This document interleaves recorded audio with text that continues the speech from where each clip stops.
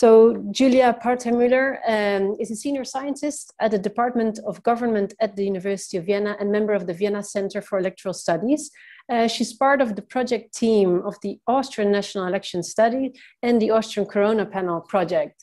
Uh, so this is where we start the, the presentation. So in her presentation, she will focus on the perspective of data producers pursuing an open science agenda and who wish to share their data rapidly. Julia, thank you for joining us. The floor is yours. Uh, yeah, thanks so much, Marika, for the introduction, and also thanks Alt for the uh, introduction of the of the CESSDA catalog. I'm sort of presenting one data set that you can find through the uh, CESSDA catalog, which is uh, the data produced by the Austrian Corona uh, Panel project, which we are making available uh, very quick. It is a study monitoring the impact of COVID 19 in Austria.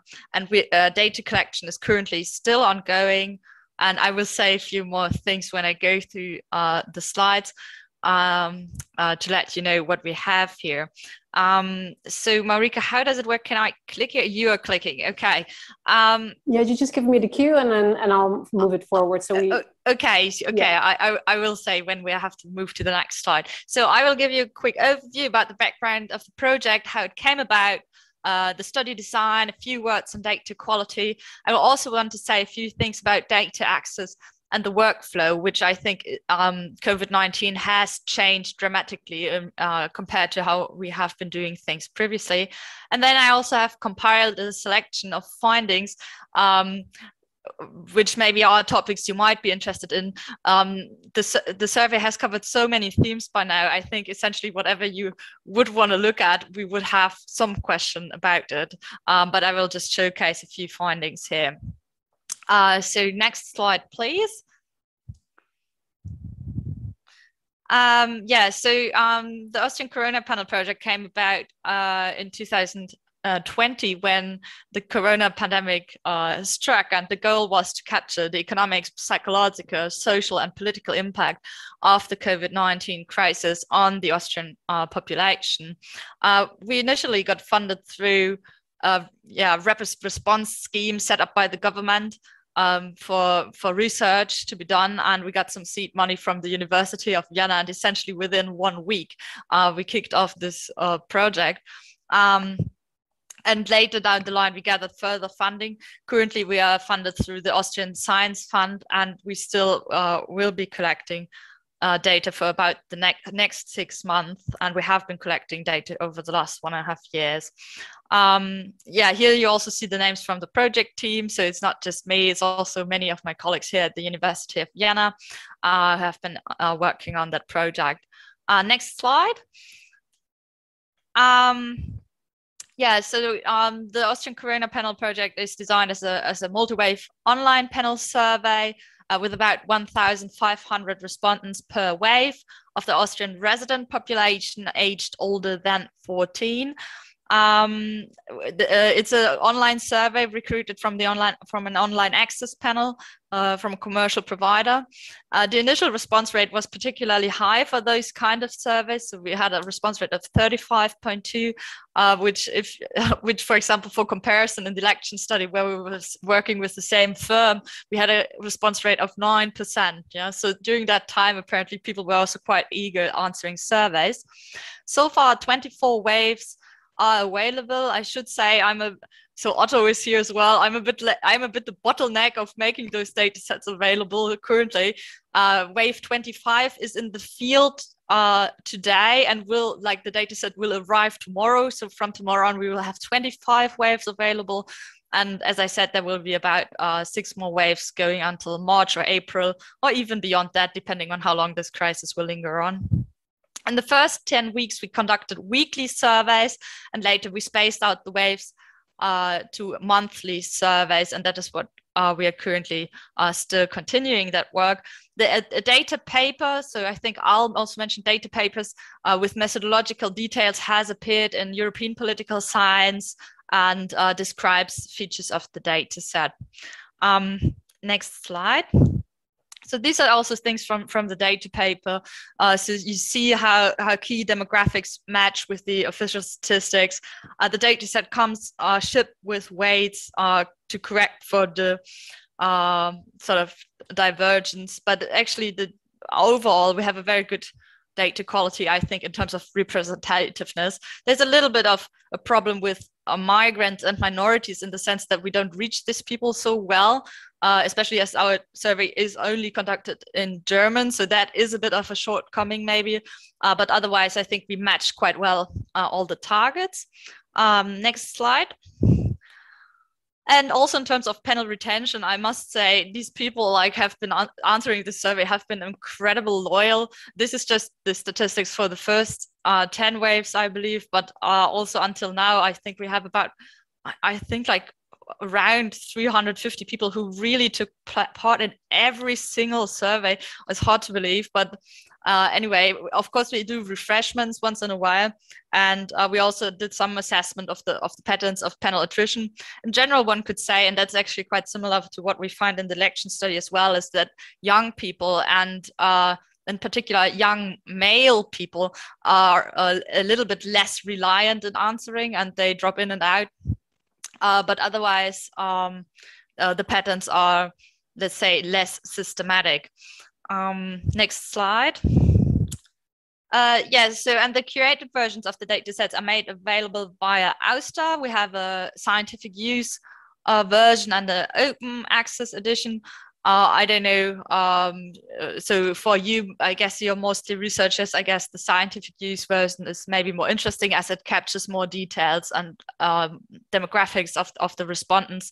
So I think probably that data set could be of interest to some among you. Currently, we have released three different versions of the dataset. As I said, I'm currently working on the fourth release, which is um, a little bit of the uh, bottleneck here, but that will be available also very, very soon and I guess um, the future uh, data will then made will be made available as fast as possible. Um, yes, so uh, please next slide. Um, yeah, just a few words about the workflow. So because um, so usually in the past, I think we used to do data collection, then we did data curation. We released the data set, we do a research, and we would have public impact. But now everything has changed in the sense that everything is happening simultaneously. So so as I said, we are currently, so I'm currently doing data curation on the one hand. I'm also doing data collection on the other hand. We're already preparing the next questionnaire. Uh, we are writing the uh, research articles and we are writing blogs uh, for the public impact and also doing a lot of interviews and, and media and everything at the same time because uh, sort of there's such a high interest in in this in this data that we get really uh, so much questions also by the public and are constantly busy with gathering new data on new topics. Um, now for example here in austria a new anti-vax party has emerged and such. You know it's constantly uh, this workflow which has made things extremely intense in a way. And um, but then on the other hand uh, i think it has also uh, i think we have also sort of lived up to the challenge and, and shown that we are sort of able to uh, juggle all around all these things simultaneously. Uh, next slide. Uh, yeah so then i just wanted to show you a few findings. I realize i'm already a bit short on time so we'll maybe need to speed up a little bit with this. But just to give you a bit of the ideas of what kind of themes we have here. So we have questions on health behavior and attitudes um, so you could you could research questions like uh, why do people comply with uh, COVID measures, or also uh, what has been a, a, big topic here in Austria lately is why are people hesitant to get vaccinated, and um, possibly what could be done about it. Um, another part or another aspect, sort of questions, has um, has been on the economic and social impact, especially on how the crisis has affected unequally different groups in society. And uh, here I will show you a few results on, on young people who have been sort of affected disproportionately in some ways. Um, and then also, as my background, for example, is also in political science, we also, of course, have also a lot of political questions, uh, which have mattered a great deal as sort of COVID politics has become high politics in a way.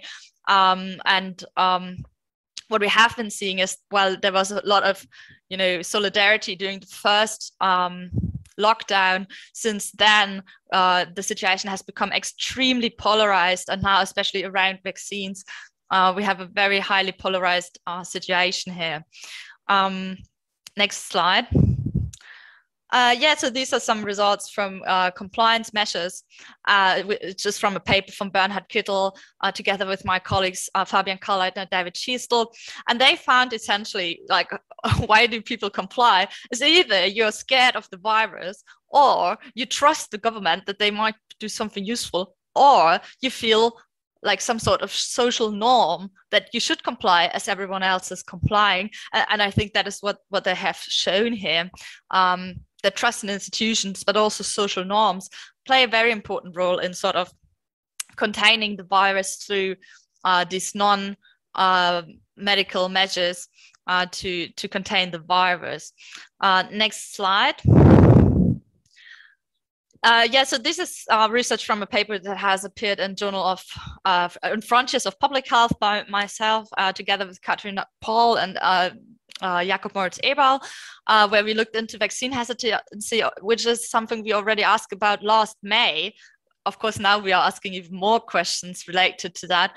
And what we found already last May, when the vaccines was, weren't here even there, um, were some quite noticeable uh, patterns again uh, risk perceptions of course playing an important role also age but then also we find sort of this yeah again this sense of community sort of this social norm aspect to it as well as the political impact with certain parties here in austria as well as people who are being actually quite alienated from politics in general being very hesitant uh, uh, with regards to vaccines. And and this is got a, got a, sort of the situation also where we are now because everyone who has trust and who feels sort of connected has been uh, vaccinated now and now what remains are people who are very skeptical uh, and don't feel a lot of trust in the government and such. So, um, yeah, it was already foreseeable, and you could have done something about it if you had listened to us. Uh, but uh, anyway, that's where we are now, and we'll see how we get out of this crisis. Um, next slide. Ah, yes, so this is about the unequal impact on young and older generations, and um, also this question whether will whether this new generation will suffer more um, because you know young people still you know need to enter the job market, and we know from other crises that they have suffered disproportionately, and to some extent this seems to be seems to be the case um, also in uh, with the COVID crisis. Uh, this is from one of our, uh, uh, or from two different blog posts and from our Corona blog, where we uh, release new analysis all the time. And um, loss of income has been disproportionately about younger people, and also the psychological impact, like feelings of loneliness, have been disproportionately among the young. So both sort of in terms of objective measures, but also psychological measures, we feel that young people have been sort of um, quite strongly affected by this uh, crisis. Um, next slide. However, what, what can be said is that young people have some sort of, and I, I think that is maybe where I would say, uh, you know, maybe there's also a, silver lining here. Young people have this enormous hope that it will get better, right? So, in terms of optimism, despite being, you know, affected worse in, in some way, young people at the same time are the most optimistic about their own future and the future of the country. And so, you might say, uh, as bad as everything is, they they still don't don't feel it really, which might maybe explain why they're not protesting that much actually. But maybe they they should be. I'm not really taking a stance here, but maybe just to give you an idea. Uh, next slide. Um, yeah, and so this is about the rally effect, uh, which we did together, study with colleagues from France, uh, who also gathered some very similar data like we did. And uh, we compared Austria and uh, France trust in government during this first wave of the pandemic. And uh, so this paper has recently appeared in West European Politics. And uh, so what we found is that that in Austria we had a very strong rally effect uh, where people trusted the government highly. But unfortunately, that went away quite fast. And ever since then, things have become more complicated. Um, next slide. Um, yeah, so here you see again sort of that in Austria we really had this closure between the opposition and the government really working together at the peak of the crisis, whereas in France you had this quite polarized situation already early on. Um, now I would say we have a strong polarization here, but this was still from the first wave. Uh, next slide. Yeah, and so this is about um, yeah, growing polarization. So this is about whether the measures are too strong or too weak. And you can see that very, very much early in the in the pandemic, everyone was saying the measures are appropriate. Yeah? So uh, although some people don't seem to remember that, but most people really thought, okay, uh, it's a dangerous virus, we need to do something, and, and the actions were appropriate. But then uh, moving into the second lockdown, and the last data point here is January, you see this pattern has become extremely polarized especially those people thinking that all measures, despite the measures being, of course, much lighter now, um, being too extreme. And, and this has remained like that and sort of also spiraled into the distrust towards the vaccine because people just you know just don't want to do anything anymore uh, to work for this crisis or having their life affected by that um, okay so next slide. I think that might my concluding remarks. Yes so um, so I think my conclusion from all this is that COVID 19 has um, not only transformed our daily life um, as we know it, but also accelerated and opened up uh, academic uh, research, made it more interdisciplinary, uh, with many you know, uh, researchers from various fields working together to solve practical uh, problems. And uh, yeah, our project has gathered uh, panel data in that context, like very in-depth uh, panel data, um, which give a lot of yeah in, uh, insights into individual dynamics in health behavior but also economic psychological social and political consequences of the crisis and i think what is is really a, a novelty is how fast we're making this uh, data available and um, uh, to everyone who, who wants to contribute uh, and help with analyzing those data. And um, uh, yeah, so I think that uh, our data has been really instrumental in, in demonstrating what's, what has been happening, uh, how uh, you know uh, why people are helping with the crisis, or now they don't anymore. And I think yeah, so so we get really good insights on yeah what the situation is and can give a lot of advice on on what has been going on. And I think that has been a quite unique experience. Um, uh, at least for me so far, because I, I will say previously we were maybe a little bit more in the ivory tower end of things, and, and now we are yeah out in the public with everything we do, uh, sort of on a day to day basis. Thanks, anyway, Julia. so that that was it, and uh, yeah, thanks so much for clicking me through the slides. yeah, thank you so much, Julia. It was really interesting to see the wealth of information that you've collected, the wealth of data that can be reused uh, and I'm sure that also Otto later on in the in the second part of the, the session will talk about how they were uh, the process that you collaborated on and making them available. But it was really interesting also to see the conclusions that you could already um, the, uh, extract from the research that you've done with these data. so thank you very much. Um, then we move to the to uh, the presentation, the references, and so thanks.